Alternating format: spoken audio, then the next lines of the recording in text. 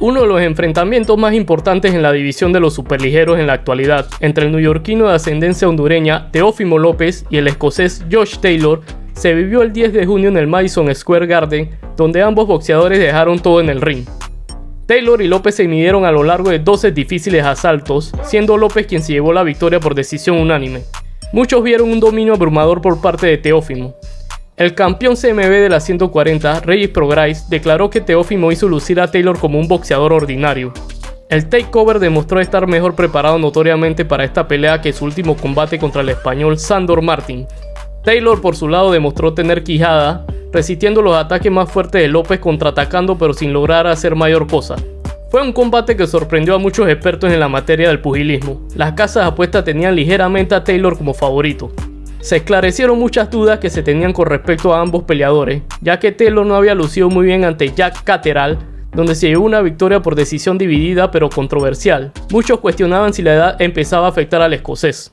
Teófimo, por su lado, había mostrado dudas en sí mismo después de su pelea con Martin, donde se le escuchó preguntarle a su equipo, ¿será que aún lo tengo? refiriéndose a sus habilidades en el ring. La victoria de López ante Taylor eleva a Teófimo en los rankings de los mejores peleadores libra por libra.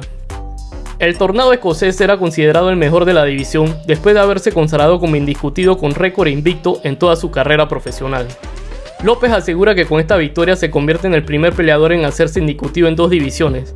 Sin embargo, esta declaración se descarta ya que el escocés había fallado en defender su título de la AMB ante el mandatorio en el 2022, por lo que el cinturón le fue despojado. Él afirma haberlo dejado vacante. López, posterior a la pelea, afirmó que su próxima batalla era en la corte por su hijo y que consideraba el retiro. Luego, en una entrevista con el reconocido analista boxístico Max Kellerman de ESPN, Teófimo vuelve a reiterar su decisión de retirarse del boxeo profesional. Dice sentirse satisfecho con lo que ha logrado a los 25 años de edad como atleta. Tiene el deseo de ayudar a otros boxeadores, entrenando nuevos prospectos y ayudándolos con su manejo dentro del deporte. Desea ser su promotora y educar como analista deportivo. Es una verdadera lástima que el takeover no continúe su carrera boxística. Ante Taylor lució rápido, ágil, certero, habilidoso y preciso en sus golpes. Dominó el cuadrilátero a su gusto y llevó la pelea donde él quiso. Eso demuestra su nivel y la capacidad que tiene para ser el rey de la división. El presidente de la OMB comunicó en su cuenta de Twitter que Teófimo hizo efectiva la renuncia a su título, dejándolo vacante, mientras que Teófimo posteó un mensaje de agradecimiento y despedida. No cabe duda que los fanáticos quisieran ver a Teófimo medirse ante figuras como Regis Prograis, Ryan García, Rolando Romero y hasta Devin Haney, quien ha expresado sus ganas de subir a los superligeros.